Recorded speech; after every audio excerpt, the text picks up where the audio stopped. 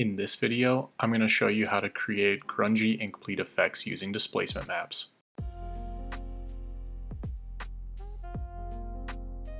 First step is setting up your Photoshop document.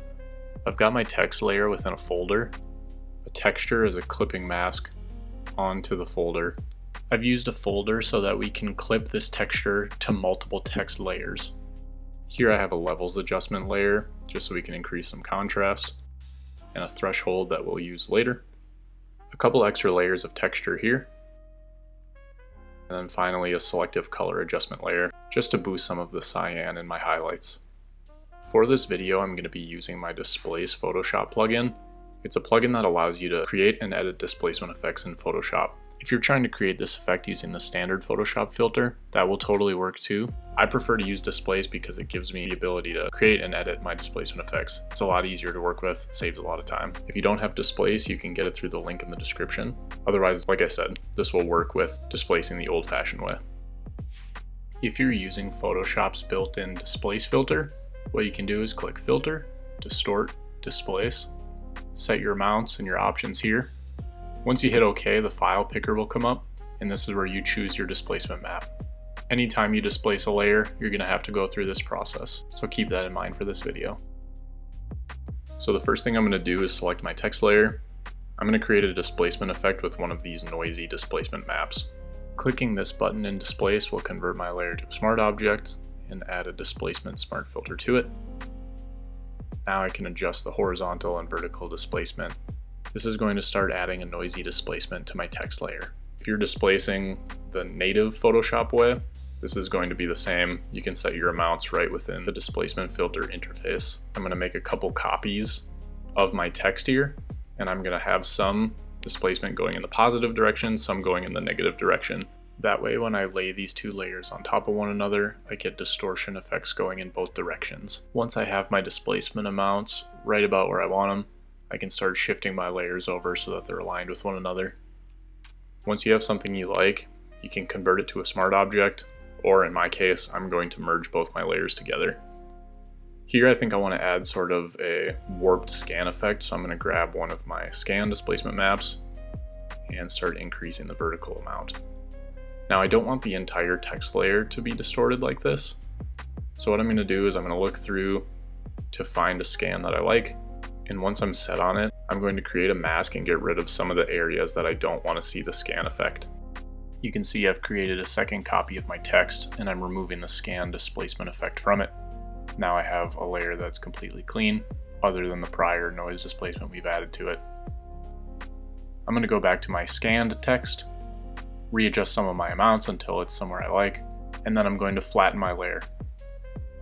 Transform it to place it somewhere that I want it to be, and then I can apply a mask and start removing areas of this scan that I don't want to see. I just want some of these scan effects right at the bottom, so we'll get rid of some of the top here and then merge my two layers together. I brought this photo of these thorny branches into Photoshop, and I'm going to use Dysplace to turn this into a displacement map. Clicking on this button converts it to a usable displacement map, puts it right there in the plugin panel. I'm going to hide that, go back to my text layer. Now if I select my newly created displacement map, I can do the same as before, increase my horizontal or vertical displacement. You can see I'm getting a pretty cool looking grungy distorted text here. Now we can either stop here and use this as our final version, or if you want to push it a little bit further, you can do a little bit harsher of an effect. So I'm going to turn the threshold on. As you can see I've made a copy of my layer as well and flattened it. And I'm going to grab my blur tool. You can see as I come around here and I apply blur to certain spots that I want to see smudged together, this is going to give us our signature ink bleed effect. Our threshold filter is the key here. It's converting everything below it to two tones. We're going to have a fully white and a fully black. Using the blur tool we can get some pretty sweet ink bleed effects. You can get the same effect across your entire layer if you use a blur filter. It doesn't allow you to be as accurate as the blur tool or the smudge tool would let you be, but if you just want to apply an ink bleed across the entire layer, this might be an easier option. Anytime you combine blur, texture, and threshold in Photoshop, you can usually get some pretty sweet ink bleed results. but I find that processing my text with displacement filters beforehand usually leads to more interesting results. In this example, you can see that I've used Dysplace to add some displacement effects to my text and then applied a blur. Now I'm going to rasterize it and go back and add more noise to it. Even adding just a little bit of noise displacement is going to work wonders for my text. In this final example, I'm using a scan displacement map to create a scanned effect on my text.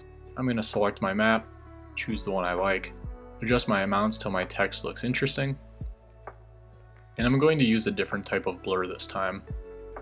I'm going to go into the field blur under the blur gallery. This filter allows you to place multiple blur locations across your layer. That way you can create strong blur effects in some parts and lighter blur in others.